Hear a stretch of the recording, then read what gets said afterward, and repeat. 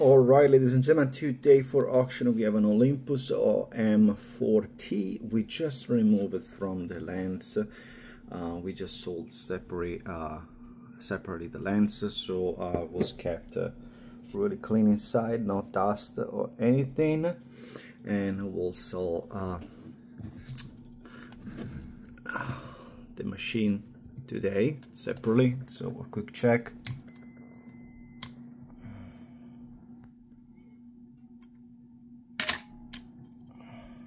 And there you have it. There is still also film inside. Uh, we're not an expert with this machine so will be sold as is.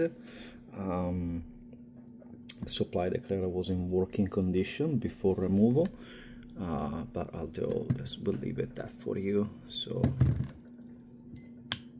seems everything that works fine to us but again we didn't test the quality of the photos all right.